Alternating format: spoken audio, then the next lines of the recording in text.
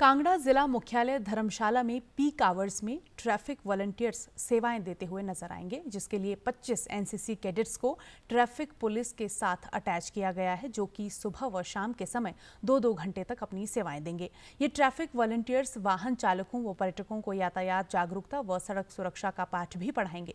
Police अधीक्षक कांगड़ा शालिनी अग्निहोत्री ने बताया कि जिला में ट्रैफ़िक वॉलंटियर्स के तौर पर एनसीसी कैडेट्स वाहन चालकों को सड़क सुरक्षा के बारे जागरूक जागरूक करने को लेकर प्लान तैयार किया गया है। उन्होंने जिला भर में इस योजना को शुरू करने से पहले धर्मशाला में कॉलेज के 25 एनसीसी कैडेट्स को तीन दिन की ट्रेनिंग के बाद ट्रैफ़िक पुलिस के साथ अटैच किया है। उन्होंने बताया कि पायलट प्रोजेक्ट के आधार पर धर्मशाला में इनकी सेवाएँ ली जा रही हैं।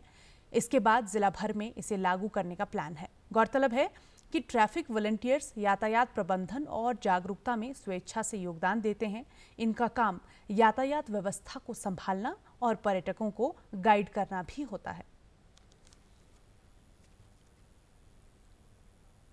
ट्रैफ़िक व्यवस्था को सुचारू बनाने के लिए और एक यंगस्टर्स में रिस्पॉन्सिबिलिटी जो है उनमें आए, इसको ध्यान में रखते हुए हमने ये एक स्कीम चलाई है, जिसमें कि हम धर्मशाला जो लोकल एरिया है टाउन एरिया है, उसमें ट्रैफ़िक वॉल्टियर्स की सहायता से इनको पुलिस वर्क का एक्सपोजर भी दे रहे हैं और साथ में इनको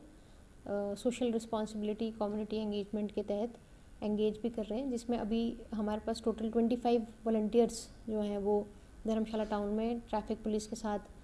दिन में दो घंटे जो है वो एक्सपोजर के तहत काम कर रहे हैं और इस स्कीम के तहत जो बच्चे हैं, वो पुलिस वर्क को भी क्लोजली एसोसिएट होंगे और जो एक पब्लिक और पुलिस का रिलेशनशिप है, उसमें भी पॉजिटिविटी आएगी।